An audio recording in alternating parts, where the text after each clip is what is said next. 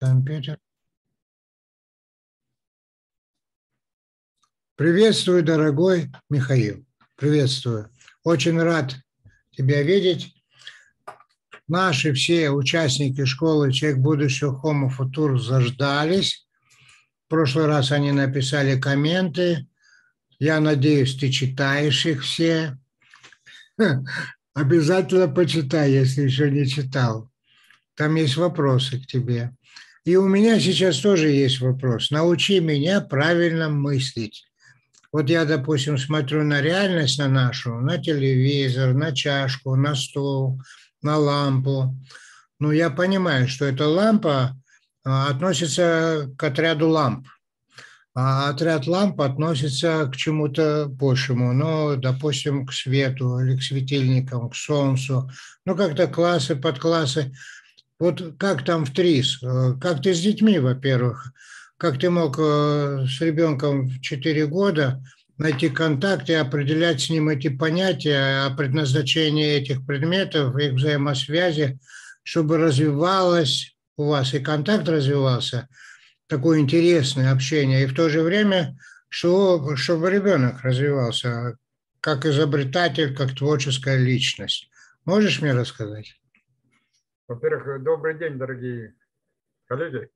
Да, привет, привет, да. Это, я хотел сказать, что есть такая отечественная теория решения изобретательских задач, ТРИС называется. Абиатура ТРИС, теория решения изобретательских задач. Придумана в Советском Союзе, это наше детище нашей страны, ну теперь это детище России и вообще детище всего мира.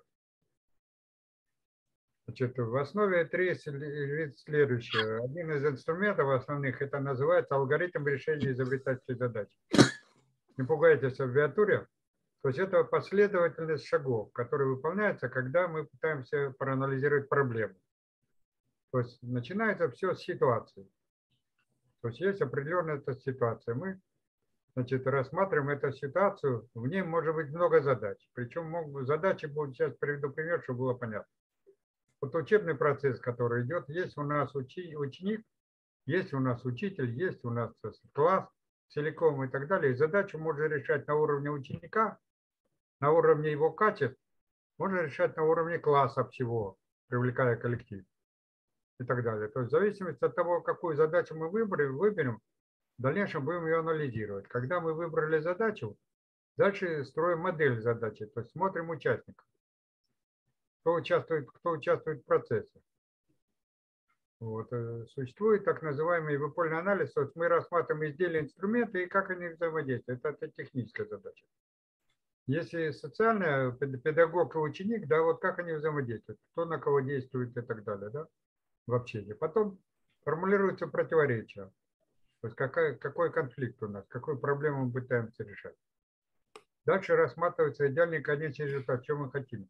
Ну вот если брать учебный процесс, да, то идеальный, идеальный ученик это как?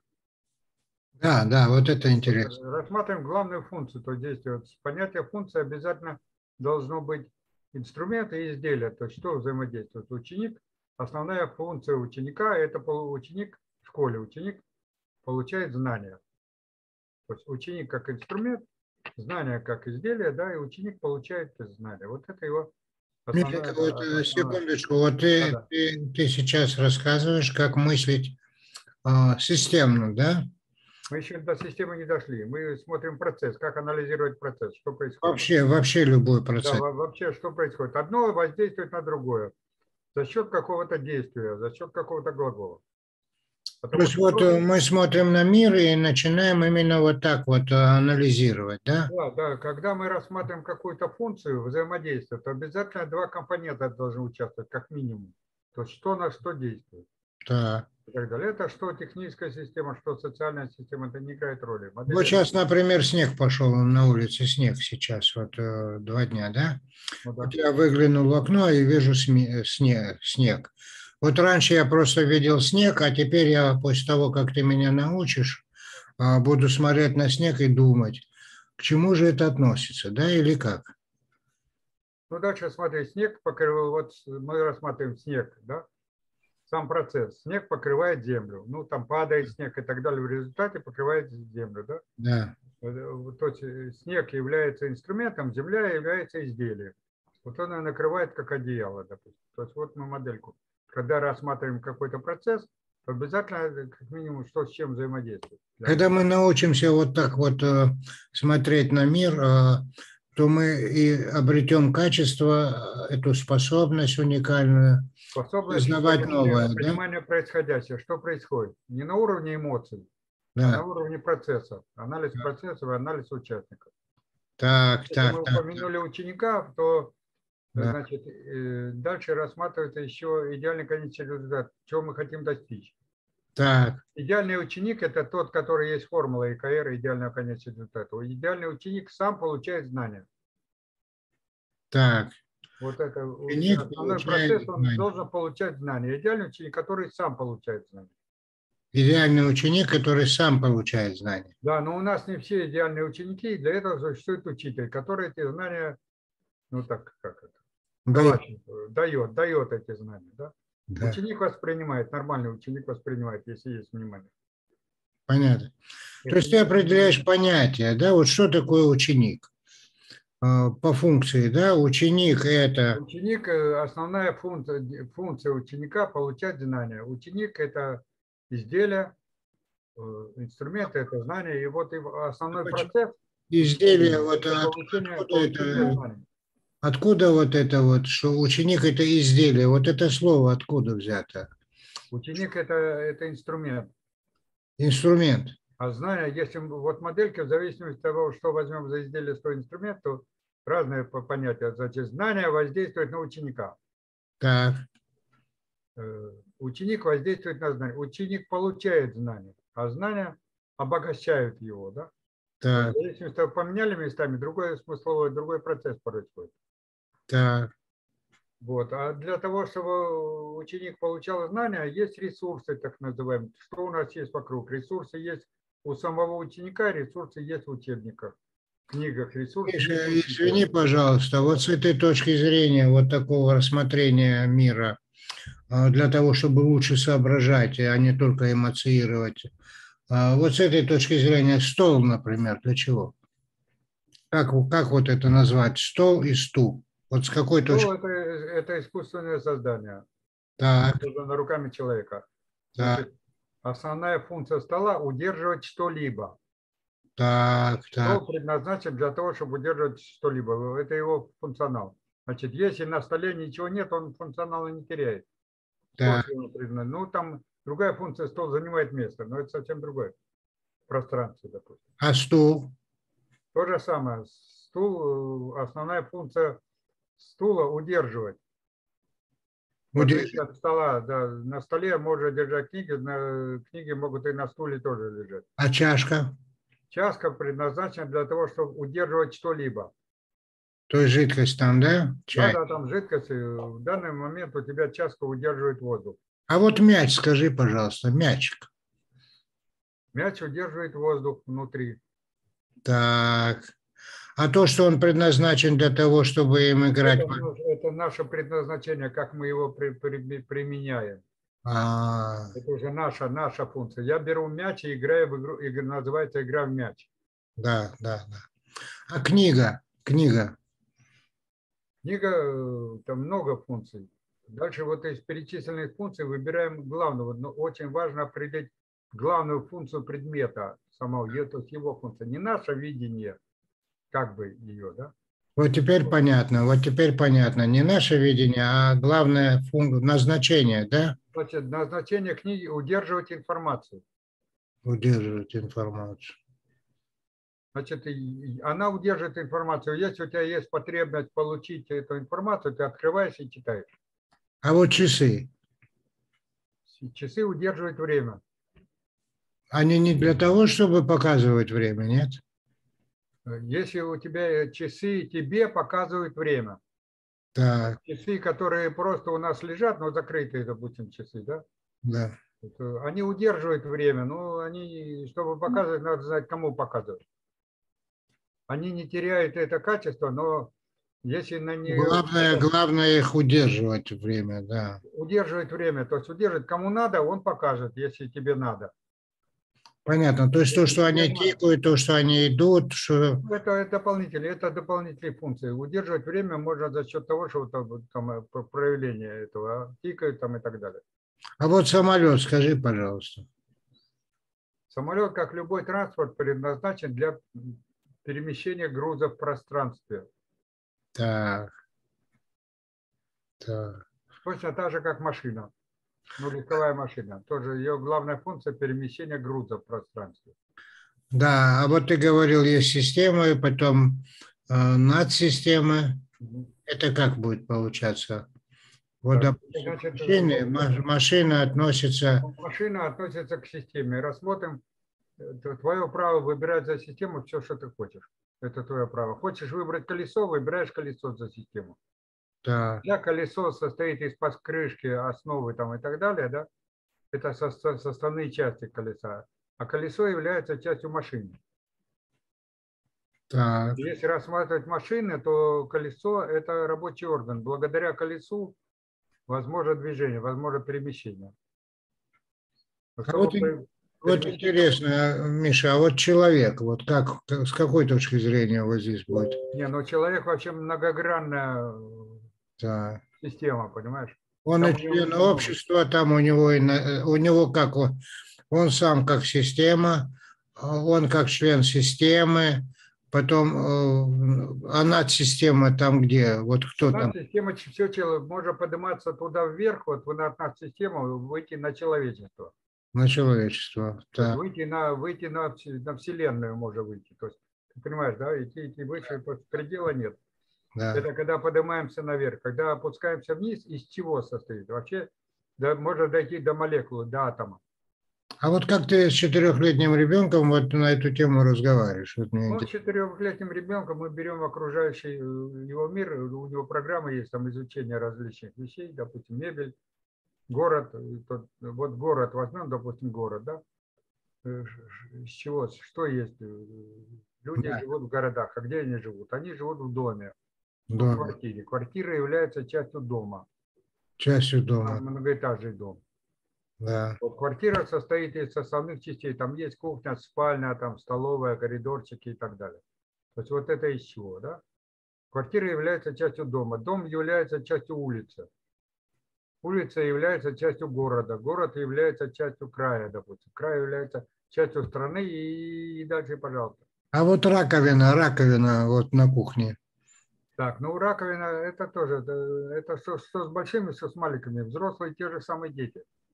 Так, Основная функция раковины, то есть надо, когда мы это рассматриваем, нужно рассматривать процессы, в которых она участвует. так. Значит, э, основной процесс, раковина направляет воду, это ее главная функция. Направлять, функция. направлять воду. Направляет, направляет движение, то есть раковина участвует в движении воды, Так, если нет воды, то раковина, раковина предназначена для этого. То есть если мы процесс создаем процесс, то она направляет воду. А дальше смотрим, из чего раковина состоит. Раковина состоит, ну, сам корпус раковины, два отверстия там есть. Входное и выходное, ну, в смысле, там это куда вода одевается, и откуда берется, я имею в виду вот этот гусачок, из которого те- течет. Миша, извини, вот когда говорят о раковине, да, вот э, с какой точки зрения надо определять? С точки зрения главного предназначения, да? Главная функция ее. Главная как функция. она применяется. Когда она работает, участвует в каком-то процессе, а у нас процесс движения воды. И Так, раковина осуществляет направление этого движения. Она э, управляет, дает, придает направление движению воды. а, то есть это главное, для чего она существует. Она для этого существует. А все остальное А там, дальше могут быть дополнительные функции. Заткнул эту раковину, значит, будет понял, для значит, любой предмет, главное, для чего это существует. Например, телевизор, главное, для чего это существует? Чтобы давать нам информацию, да? Дает информацию, да, точно так же, как книга. А, Только книга пассивна, а телевизор активный. Понятно. То есть, глядя на вещи, определяем главное их назначение. Да, и это называется талантливость мышления, когда мы о чем-либо говорим, о какой-то системе, о вещи какой-то. Да, Из чего, часть чего. То есть главных функций определил. да, Довольно часто получается так, люди разговаривают друг с другом и не понимают друг друга, потому что ты видишь под этим предметом одну функцию, понимаешь, Ну да, я под раковиной видел предмет, который можно кого-то, допустим, стукнуть по голове. Ну, к примеру, я шучу. да, да. Как есть, там? иногда, если я хочу... На самом деле это же предмет для того, чтобы там вода через. Я, я тебя хочу понять как собеседника, чтобы не потерять тебя, я задаю вопрос, о чем ты говоришь вообще? То есть я не понимаю, о чем ты говоришь. Да, И тогда люди выходят на одно понятие, об одном процессе. да. Понятно, понятно. Понятно. Так вот, талантливость мышления заключается в том, что ты видишь эту всю структуру, понимаешь и видишь, всю картину видишь, а работаешь с тем, что тебе нужно. Миша, можно еще один вопрос для уточнения? Вот, допустим, человек в огороде копает землю, грядку копает лопатой. Он стоит, трудится, к нему подходят люди и говорят, Федор, ты что делаешь? Он говорит, землю копаю. А чем ты копаешь? Лопатой, не видите, что ли? Вот лопата, это что?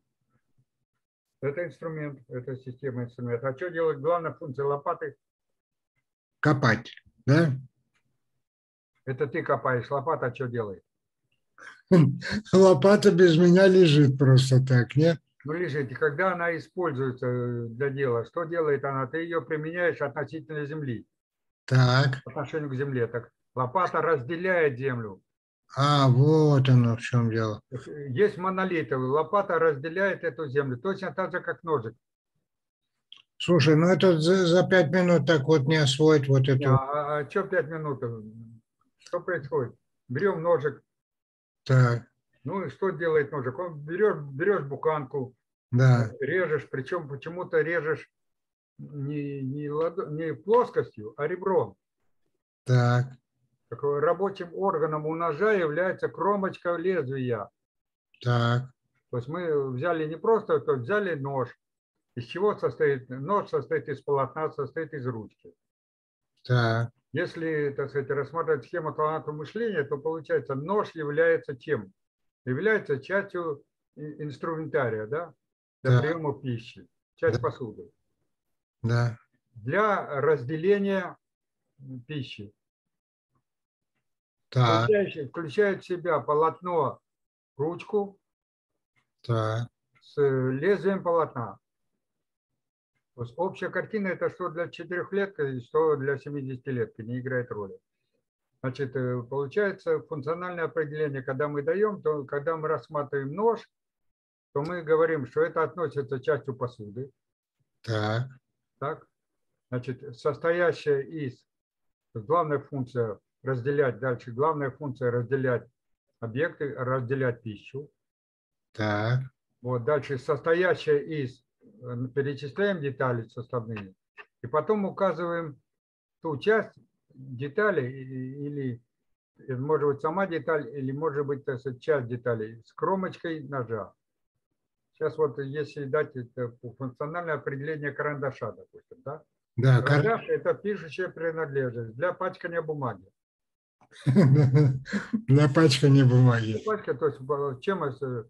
Ну, А да, вот чтобы пачка- оставля- оставлять Да. графитовый с- свет. А пачкание, процесс пачкания заключается в том, что э, цельного грифеля от- отделяются крупинки этого Да, уголька, грифелька, и они остаются, остаются на бумаге. да, Значит, еще разок сначала. Значит, карандаш является частью пишущих принадлежностей, оставляющих след, состоит из компонентов и указываем рабочий орган, который у нас выполняет вот эту самую функцию. Можно еще раз, одну секундочку. Карандаш относится к классу Класс, да, да, да, именно класс. А теперь Класс. для, для чего? предметов, пишущих предметов, оставляющих на бумаге, А. Оставляющийся главной функцию. Для выполнения главной полезной функции. да, да, понятно, понятно. Слушай, а вот интересно, если просто... Вот Можно я так, э, маленького формула? Да? Говоришь, часть чего, для чего, из чего и чем осуществляет это. Да. Вот интересно, если мы задали вопрос, например, нашим участникам нашей школы беседы сейчас, например, определите, пожалуйста, лампа для чего? Что это лампа? А, напишите, пожалуйста, вот чтобы определили, к какому классу объектов относится, что это такое, для чего. Лампа относится к, к источникам света. Так может быть, вот эти вопросы надо, вопросник составить, и человека, который не сведущий, сразу учить по этим вопросникам, например, глядя на что-то, ты должен понимать, что это, для чего это, к чему это относится, главная функция какая. Главная функция, частью чего является. Так. Вот состоит и элементе, который обеспечивает вот эту главную полезную функцию. Так, так, так. Вот это функциональное, ты даешь определение предмету, определение системы с полным пониманием функции и как она осуществляется. И тогда люди между собой бы разговаривали и понимали бы, о чем, например... Понимали, о чем, о чем идет разговор. Например, мясорубка. Уже бы понятно было, что это устройство для устройство для обработки мяса. Это Нет? слова, надо конкретно, конкретно функцию. Для разделения мяса. Для разделения мяса. Разделение. Мясорубка – это тот же самый ножик. Понятно. Кстати, там внутри мясорубки есть ножик, который разделяет от монолита. Ты берешь кусок мяса, мяса кладешь в мясорубку, крутишь, да. и там происходят вот эти процессы.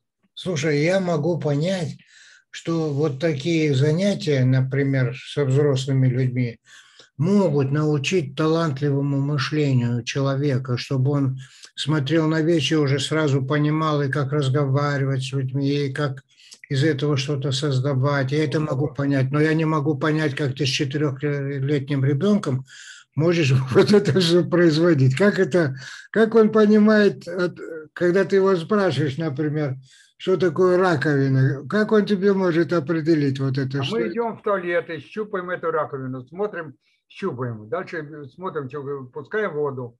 Так. Раковину убрал, куда девается вода? Попадает на пол. Так. что делает раковина? Раковина не дает воде попасть на пол. Так.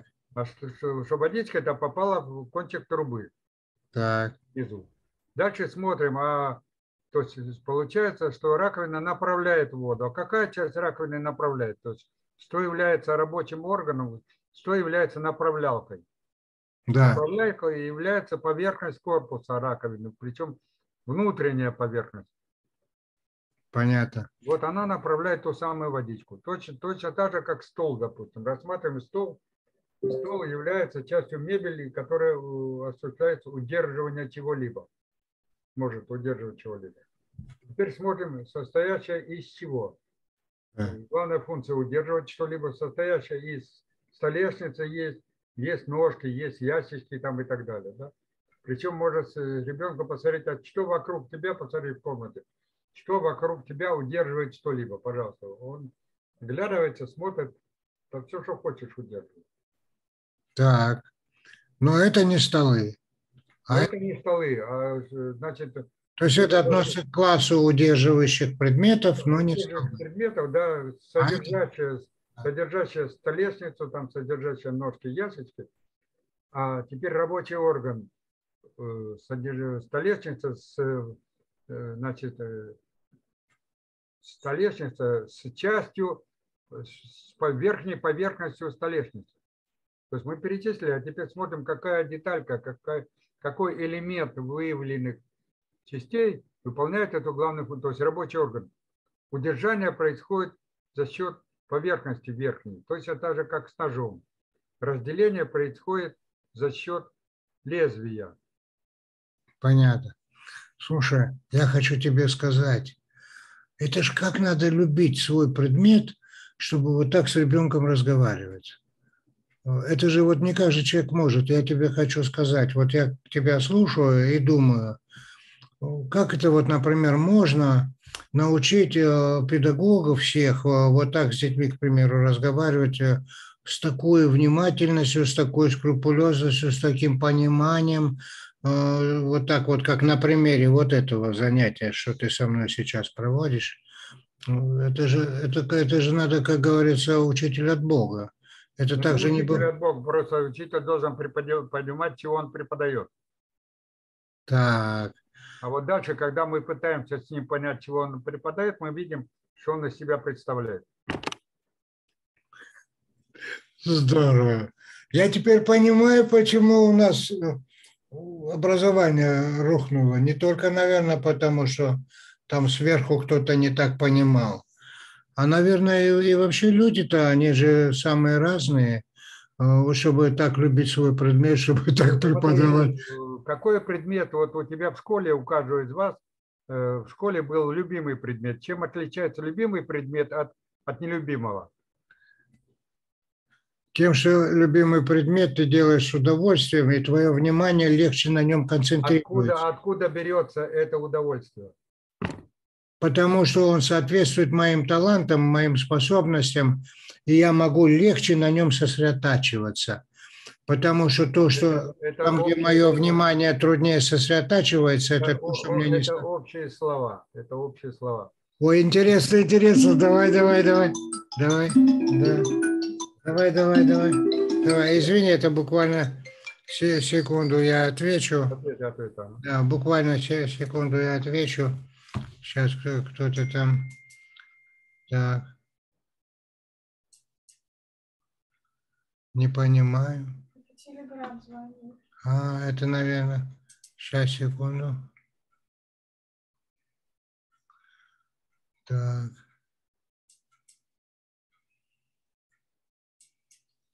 Не, не знаю.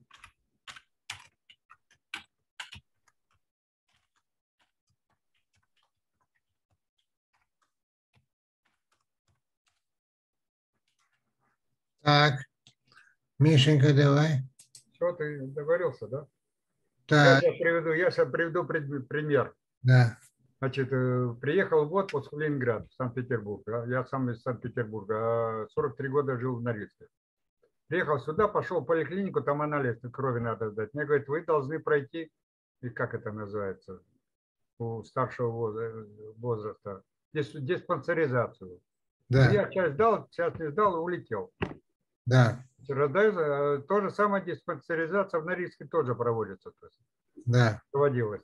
Раздается звонок, вы должны подойти и продолжить диспансеризацию в такой-то кабинет. Да, Ну хорошо, понял. Я побежал в свою поликлинику, у нас их несколько в Норильске. Побежал в поликлинику, я найти не могу номер кабинета такого. Спрашиваю там у, у сестричек, где, а у нас, говорит, нет такого кабинета. Ну, думаю, я, наверное, не ту поликлинику. А у нас там поликлиники две, на улице Кирова, на улице э, Толнацкой. Так. Я, значит, звоню по тому телефону, где мне сказали, вы должны пройти. Я говорю, скажите, а это на Толнацкой или на улице Кирова? Это, говорит, на Кавалергардской. Елки-палки. точно. Это улица в Санкт-Петербурге, куда меня пригласили. Понятно, понятно. Слушай, Вот, сейчас у тебя был звонок, да? Так ты смотришь, э, это где? Там Телеграм или еще чего и так далее. да, Определись, да, да, куда столько каналов, и не поймешь, откуда. куда канала, да. Да, Так вот, и вернемся к нашим баранам. Значит, чем отличается э, любимый предмет от нелюбимого? Тем, что э, педагог влюбил предмет свой. Ну, во-первых, э, ну, любить можно по-разному, так сказать. Тебе может нравиться учительница. И благодаря тому, что она тебе нравится, тебе приятно общаться с ней и так далее. И предмет ложится, который она преподает, как э, масло на хлеб, понимаешь? да, да, да. Это флюида Амандуса, да. Да, да, то есть любимый предмет еще заключается, особенность его заключается в том, что педагог дал тебе прелесть всей картины этого предмета. То есть ты, э, общаясь с этим предметом, получаешь удовольствие. Что такое Да, нелюбимый да, предмет? Ты когда думаешь о предмете, думаешь о ней, о педагоге, да. о педагоге думаешь и так далее. Ну вот я учился в семи школах Советского Союза, и когда отец был военный, переходил в новую школу, я получал кучу двоек, я не воспринимал педагога который мне преподавал. Когда репетиторов не было, А как же? Вот извини, а я когда учился в девятом классе, у нас педагог была очаровательная по немецкому языку, но немецкий я так и не выучил, а в педагога влюбился. А Как это может быть? Ну, я шучу, я шучу. Я, я понял, я понял, я видел педагогов, которые так с любовью преподавали, что забываешь обо всем и видишь вот то, что он говорит, прямо живешь этим. Конечно, ну, Ты, ты купаешься в этом предмете, получаешь удовольствие. Но это как э, человек, умеющий плавать. Я приведу другой при- пример. Значит, в свое время на первом курсе у нас ну, вечеринка, ник- никто из парней танцевать не умел. Вот пригласишь ее, как ее не уронить, как на нее не, наступить, вообще куда ее повернуть, и, наконец все это кончилось. Села, и слава богу. Пошли в школу, пошли в школу танцев. Да, был у нас э, старичок, 64 года. да. Он, э, у него богатейшая фонотека была пластинок, и он нам рассказывал о танце, рассказывал о сути этого танца, помимо отдельных элементов и прочего. Он не давал танцевать больше пяти минут с одной партнершей. То есть вот круг стоят, отрабатываем движение, да, пять минут прошел, хлопнул, значит, идет дальше смена партнеров. Значит, он говорит, если ты ее взял и не почувствовал, ты не партнер. Ну, молодец какой, а. Молодец какой. Ты знаешь, анатомию в мединституте, я когда учил, это было так, так неприятно, эти косточки, мыщелки, и там сухожилия, и по-русски, и по латыни надо все знать, все эти все, все. И вот однажды я попал, э, после уже повышения квалификации, там случайно был преподаватель по анатомии, который заменял нашего преподавателя там на курсах э, а, случайно совершенно. И вдруг он стал ту же самую анатомию рассказывать. Я забылся, он так рассказывал, как будто бы вот вселенная какая-то, Ну, Живое, живое. как эти нервы проходят, э, как, как эти мышелки, как эти косточки все. Так рассказывал, просто такое было ощущение, как будто, как будто симфония какая-то. Вот цельность организма. Кстати говоря, Мария Шагинян писала четыре урока у Ленина.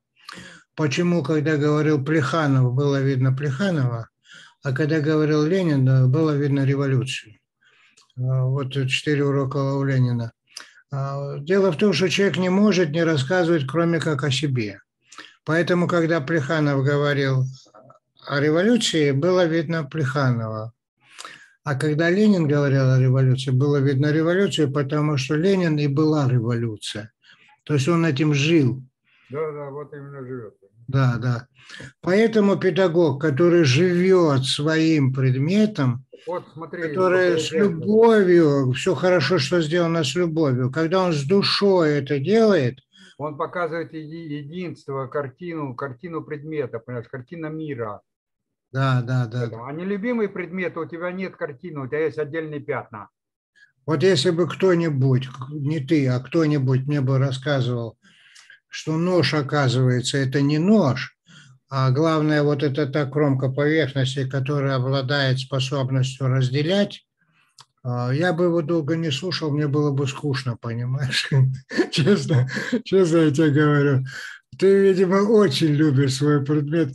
Слушай, я тебя очень прошу, Миша, Давай мы еще раз встретимся, потому что вот сейчас мы вот э, зададим домашнее задание всем, пусть они определят какое-то слово по предназначению, например, утюг там, или э, торшер, э, или пол. Дай какое-нибудь задание. Можно, можно задать задание окно. окно. О, супер. Друзья, пожалуйста, Миша предложил вам, сформулируйте, пожалуйста, окно.